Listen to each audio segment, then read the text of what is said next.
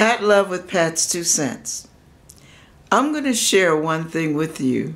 I think this is such a beautiful story and a great analogy.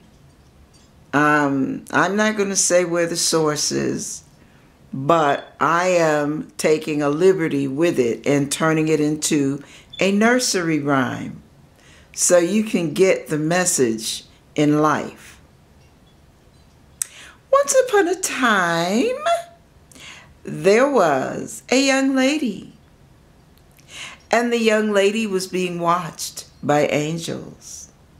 And the lady was with her other friends, and they all had bridal gowns on. They were beautiful, pure white as the driven snow, glowed in the sunlight, just beautiful, flawless, gorgeous.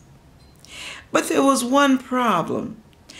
All of her friends, their dresses were just beautiful and white, but hers seemed to be getting dirtier and dirtier as the day wore on. And the angels asked, Why is her gown getting so dirty? Now, none of the other ladies could see it, only the angels could see the filth. And they said, one of the other uh, superior angels answered, Well, she has a boyfriend. And she allows her boyfriend to feel all over her and touch all over her and do things that are inappropriate for single people to do. And there's sin in her life as a result.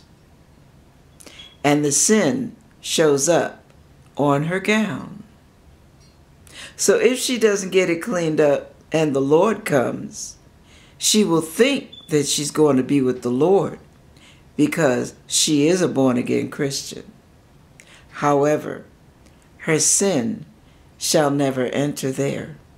And if she is still connected with her sin,